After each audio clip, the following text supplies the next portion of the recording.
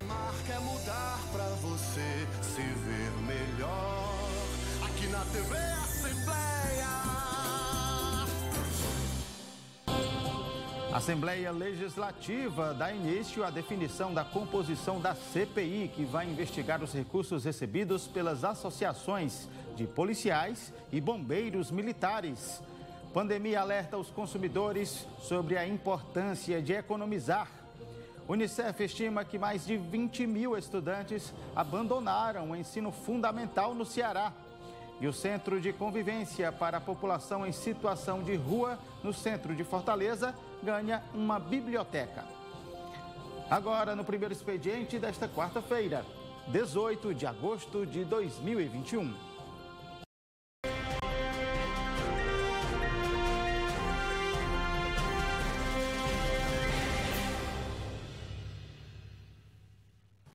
Bom dia!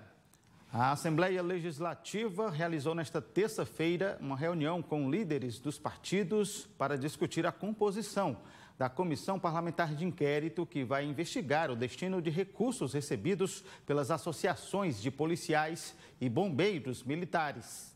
A reunião foi no Salão Nobre da Assembleia com a presença dos líderes de partidos.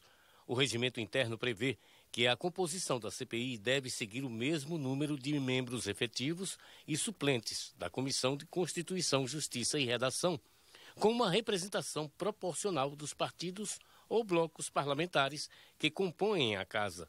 Sendo assim, a CPI deve ter nove parlamentares titulares e nove deputados suplentes. A cada cinco membros, cada cinco deputados de um bloco partidário tem uma vaga e o PDT, Bloco PDT DEM Cidadania, com, no caso com 15 deputados, tiveram direito a três vagas. O PT, com cinco deputados, tiveram direito a uma vaga. O PP, com cinco deputados, tiveram direito a uma vaga. E o MDB, com cinco deputados, também tiveram direito a uma vaga. Então, fazendo um total de seis dos nove, as outras três vagas, chegou-se a um acordo, onde, é, de acordo, repito, com a proporcionalidade, com o quociente eleitoral, a, a, no caso a oposição, o bloco é, é, republicanos e prós é, indicou um nome, os outros dois nomes serão indicados até sexta-feira.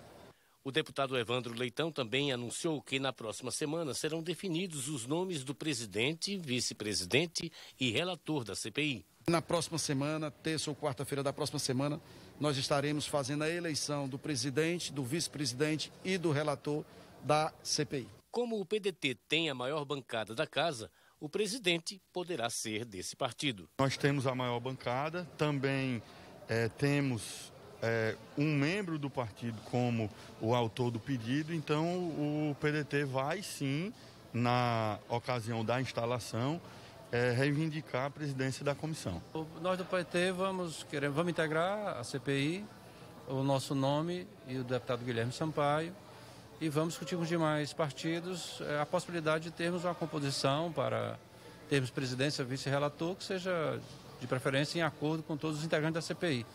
Se não, vamos escolher na comissão aqueles nomes que nós achamos que são mais adequados. Dos nove representantes de partidos, oito são da base do governo. O deputado Soldado Noélio é o único da oposição. Eu não queria nem fazer parte disso aqui, eu queria fazer parte de uma CPI para investigar a facção. Esse é o pedido que eu estou fazendo, já estou com um, um, relatório pronto, já estou solicitando assinatura, já consegui a assinatura de alguns deputados. A população precisa se sentir representada e que alguém está vendo o sofrimento dela. Quem mora nas comunidades, quem mora nos conjuntos habitacionais, gente que ganhou sua casinha ganhou sua casinha no programa habitacional do governo e perdeu para as facções, ela quer que alguém possa levantar essa pauta. O deputado delegado Cavalcante questionou a CPI das associações dos militares e cobrou a instalação de outras CPIs para investigar outros assuntos. Nós temos várias CPIs aqui importantes que a população do estado do Ceará ela, ela, ela, ela, ela reclama. Por exemplo, a CPI da Enel, está aqui, ó, onde milhares de consumidores são todo dia prejudicados, entendeu? No estado do Ceará, por essa empresa que não faz o serviço direito. Nós temos a CPI das facções. O pedido para instalação da CPI das associações foi protocolado no dia 19 de fevereiro de 2020 pelo deputado estadual Romeu Aldigueri. com a assinatura de 31 deputados. A investigação é por conta da possível participação das entidades no motim dos militares. O sentido da CPI, eu como é, também é, subscritor do requerimento do deputado Romeu Aldigaeri, que é o autor, é investigar alguns indícios de utilização indevida, ilegal de recursos. Os indícios que ela é, utilizou esses recursos descontados nos contra-cheques policiais para utilizar como recreação, serviço de saúde, apoio aos servidores para financiar movimentos paredistas. A deputada Augusta Brito falou da expectativa dela sobre a comissão parlamentar de inquérito. Nós esperamos, não só eu, acredito que todos os deputados que vão fazer parte da CPI, se assim meu nome for aceito, que o partido vai indicar até sexta-feira, é, para ser membro também dessa CPI, a nossa ideia é exatamente investigar. Não foi instalada essa CPI aqui contra A ou B, mas sim, com certeza, a favor dos policiais militares que, se tiver algum problema em relação às associações, querem saber, querem uma resposta, especialmente para a população do estado de Ceará. A pandemia da Covid-19 mudou a forma de economizar e investir das pessoas. Um levantamento aponta que quase metade das pessoas pretende economizar, mesmo com as restrições financeiras. Nayana começou a pandemia com a Xena e hoje já são mais três animais em casa, um gasto que pesou nos últimos meses. O nosso maior problema foi a questão de a gente ter dobrado o número de cachorros dentro de casa e termos adotado mais dois gatos, né? E aí a gente teve uns gastos veterinários não planejados com isso, que foi assim o que deu de impacto mesmo para a gente nesse início. Com mais despesas, a necessidade de economizar também aumentou. Foram durante esses gastos que a gente teve essa dificuldade financeira mesmo maior e a necessidade de guardar um dinheiro para esses eventuais gastos que quem tem bicho sabe que a gente sempre tem. Nayana está entre as milhares de pessoas que foram obrigadas a mudar a forma de economizar e investir o dinheiro que recebem mensalmente. Segundo o levantamento publicado no jornal Valor Econômico, 46% das pessoas pretendem continuar economizando mesmo com a diminuição das restrições. Esse consultor financeiro detalha como a pandemia mudou a rotina. Com as restrições que foram impostas, algumas pessoas que não tinham hábito de, de poupar, de economizar, se viram forçadas a isso, tendo visto o cenário de escassez durante o período de pandemia, ou porque se perdeu o emprego, alguém da família perdeu o emprego, ou porque foi pego de calças curtas sem nenhuma reserva diante da incerteza futura. E mesmo com as dificuldades da pandemia, quem já tinha o hábito de economizar acabou sendo favorecido. Quem vinha organizado e conseguiu se manter organizado saiu melhor e maior desta pandemia. Né? Infelizmente, quem já vinha desorganizado deve ter encontrado algum desafio né, para ser organizado durante esse período de pandemia, mas que não foi impossível, porque nós conseguimos visualizar isso nos números, né? Esse aumento de poupadores de 44% para 57% de abril de 2020 para junho de 2021. Agora a gente vai mostrar aqui no telão os números atualizados da Covid-19 no Ceará. De acordo com os dados do Sistema Integra SUS, foram registrados até agora 23.859 óbitos por causa da doença. Nenhuma morte por Covid-19 foi registrada pelo sistema nas últimas 24 horas. O estado contabiliza até o momento 926.987 casos confirmados e nós conseguimos ultrapassar a marca do, das 650 mil pessoas que conseguiram vencer o coronavírus. Com relação às internações, a taxa de ocupação nas UTIs do Ceará está em 42,72%. Nas enfermarias, 20,6%. Sobre o cenário em Fortaleza, a ocupação em UTIs é de 59,79% e nas enfermarias, 39,07%. Veja no próximo bloco: 76% das empresas do Ceará relatam prejuízos na pandemia. E ainda, o setor de peças automobilísticas segue em dificuldade na retomada econômica. Agora são 8 horas e 40 minutos. A gente volta já.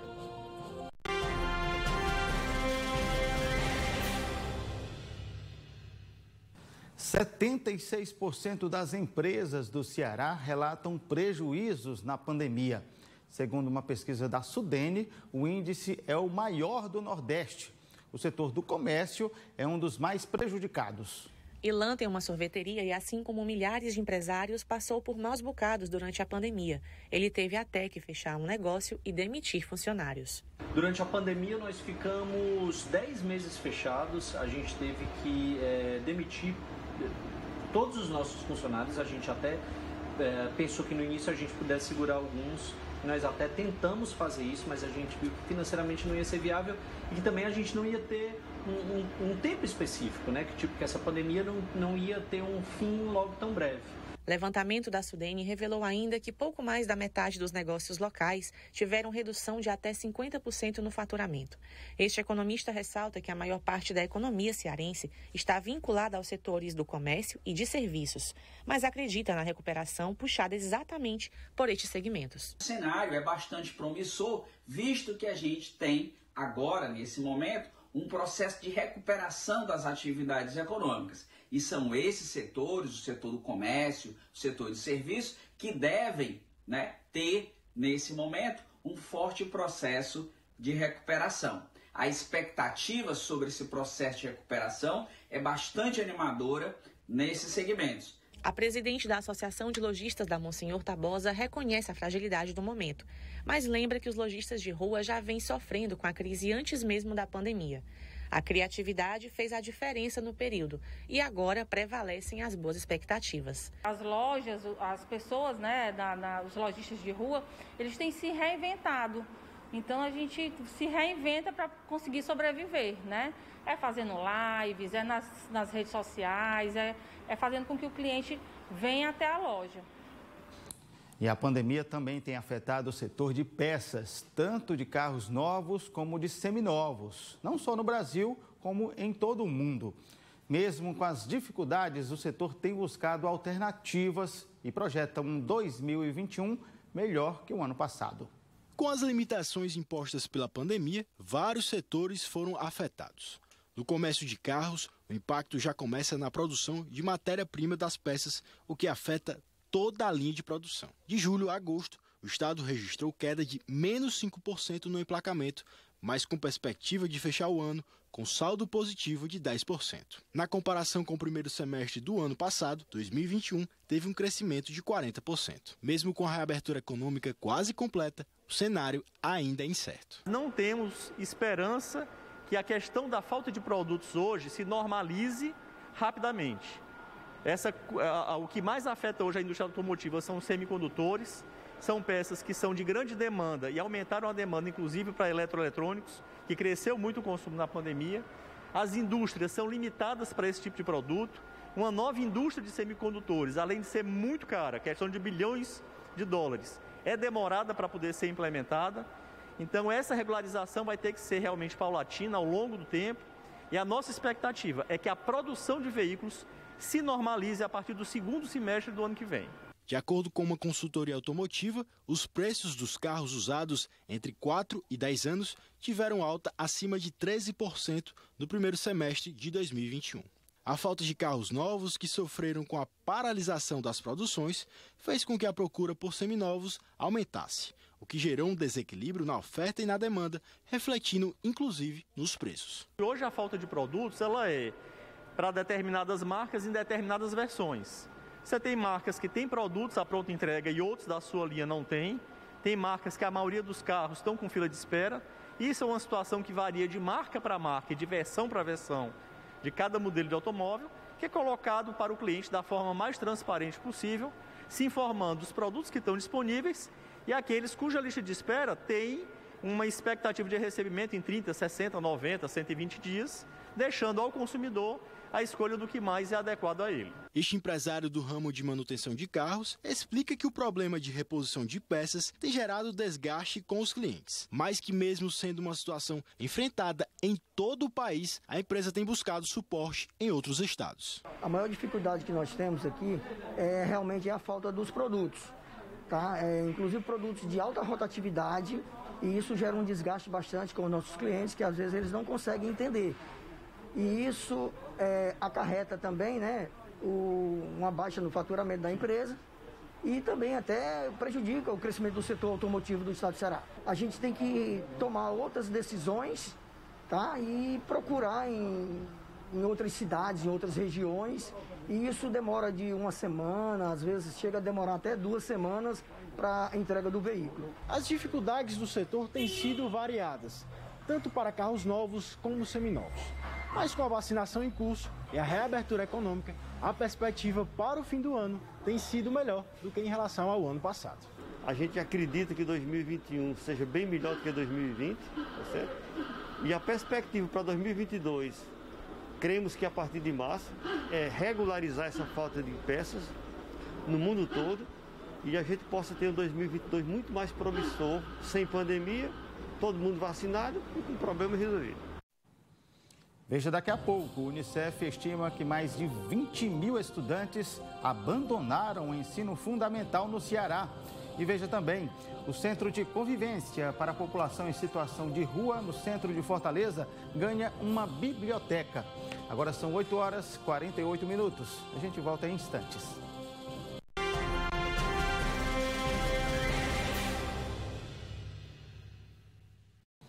A educação foi um dos setores mais prejudicados em todo o país pela pandemia. As escolas públicas passaram mais de um ano com as aulas presenciais suspensas e uma das consequências foi a evasão escolar. Dados do Unicef apontam que mais de 20 mil alunos abandonaram o ensino fundamental só aqui no Ceará.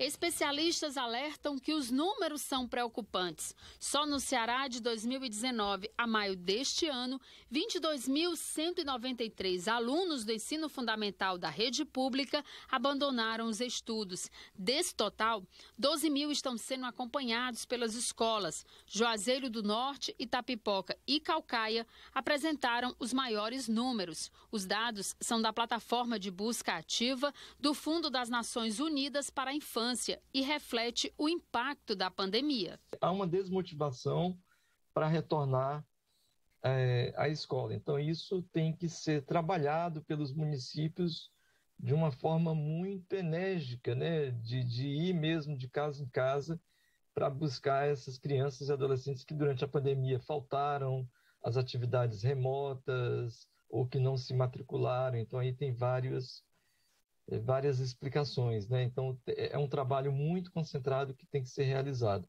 A plataforma de busca ativa permite que os promotores do Ministério Público Estadual e os conselheiros tutelares, além dos gestores públicos, acompanhem a situação da evasão escolar. Entre os motivos, o mais comum é a falta de interesse pela escola ou pelos estudos. De acordo com a plataforma, mudanças frequentes de domicílio, como também o fato de crianças e adolescentes estarem em situação de rua, são outros motivos para o abandono escolar. A promotora de justiça, Elizabeth Almeida, destaca que a falta de conectividade também foi um ponto relevante para que milhares de crianças deixassem de estudar. Uma conectividade altamente ou inexistente ou, ou muito frágil, né? Quando ela era existente, um celular para ser dividido para a família toda. Então, é, isso aí ficou muito evidenciado. E aí aquela dificuldade que o aluno tinha de interagir, o próprio professor também foi pego de surpresa, como é que ele estava fazendo, desenvolvendo aquele trabalho. Então eu acho que essa causa ela foi muito preponderante, a questão da conectividade, sabe?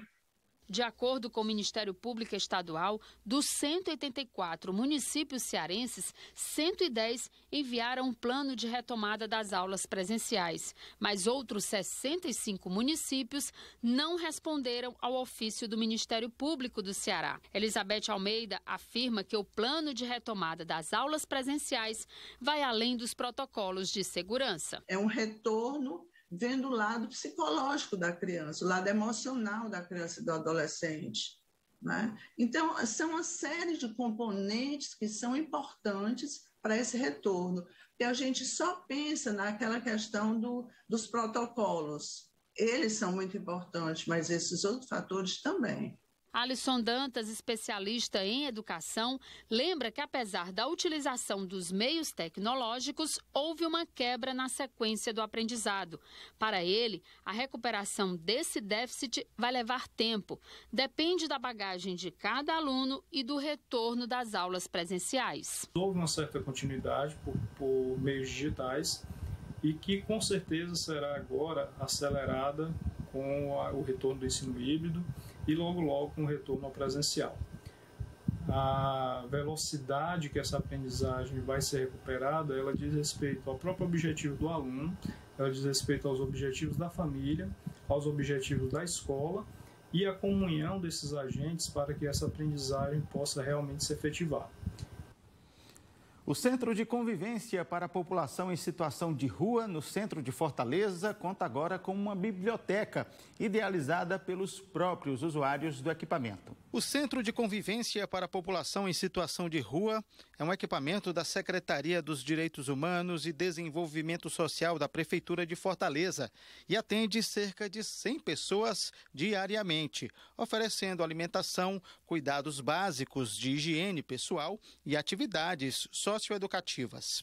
Agora, todas essas pessoas contam com um novo espaço para momentos de interação e conhecimento. É que nesta terça-feira foi inaugurada no local uma biblioteca. Os livros foram arrecadados por meio de campanhas de doação que contou com o apoio do Instituto Maria da Hora. Toda a pintura e decoração do espaço foram elaboradas pelos próprios usuários através das oficinas de arte e cultura. A supervisora do instituto ressalta que a leitura abre um leque de oportunidades para os usuários. O projeto foi idealizado né, por todos os usuários usuários, juntamente com a equipe né, de profissionais aqui do, do Centro de Convivência. E assim, é uma receptividade muito grande. A gente pôde ver que muitos deles né, tinham esse anseio de introduzir no mundo da leitura.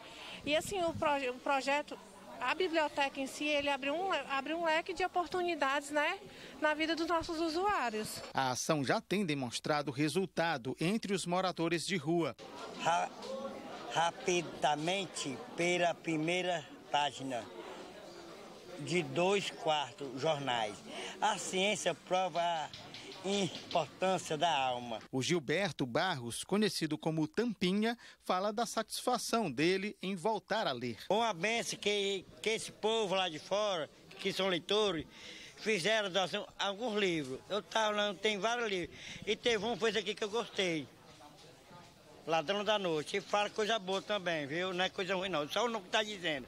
É o tema, é uma benção. Maravilhosa a biblioteca. É um espaço, né, para todo mundo ler, sempre é bom, né? Ler, a gente se encontra, ler a gente se acha, ler é fundamental para o ser humano. De acordo com o secretário executivo de Direitos Humanos e Desenvolvimento Social, a ideia é ampliar as atividades de leitura para outros equipamentos socioassistenciais de Fortaleza. A gente acredita que o, o fomento da cultura e de outros, outras temáticas, né, vai beneficiar em muito essa, esse recorte da população. Né? Então a gente, não só aqui, mas a gente planeja também, a gente vem estudando a implantação desse, dessa mesma metodologia em outros equipamentos socioassistenciais da, da Secretaria. A Assembleia Legislativa realiza hoje à tarde uma audiência pública para discutir a proposta de emenda constitucional que trata da reforma administrativa em tramitação no Congresso Nacional. O debate promovido pela Comissão de Trabalho, Administração e Serviço Público, foi proposto pelo deputado Renato Roseno do PSOL. Vamos ao vivo com o repórter Jânio Alves, que tem mais informações sobre o evento. Bom dia, Jânio. Bom dia, Tiago. Bom dia a todos que nos acompanham. Olha, essa audiência pública atende uma demanda do Fórum Permanente em Defesa do Serviço Público do Ceará o autor do requerimento para a realização dessa audiência pública que vai debater a PEC 32, que é a PEC da reforma administrativa proposta do governo federal. O autor é o deputado Renato Roseno. Alguns deputados, deputado Renato, afirmam que a PEC proposta pelo governo federal ela quebra a estabilidade do funcionalismo público, acaba com o princípio de impessoalidade, entre outras coisas. O senhor se alinha com aqueles que pensam assim? É, sem dúvida, Jane. Bom dia, bom dia a você, bom dia, Tiago, bom dia àqueles que vêm agora à TV Assembleia. É, se há uma certeza agora trazida pela pandemia, é da imprescindibilidade do serviço público. Quem salvou milhões de vidas foi o SUS, foi o servidor público, foi o serviço público. E o Brasil não tem muitos servidores, ao contrário do que se alardeia. Apenas 12% da força de trabalho no Brasil são de servidores públicos, eles não são marajás. 53% destes servidores ganham no máximo 3.800. Portanto, aqueles que ganham salários maiores estão concentrados no judiciário e no legislativo, são apenas 0,5%.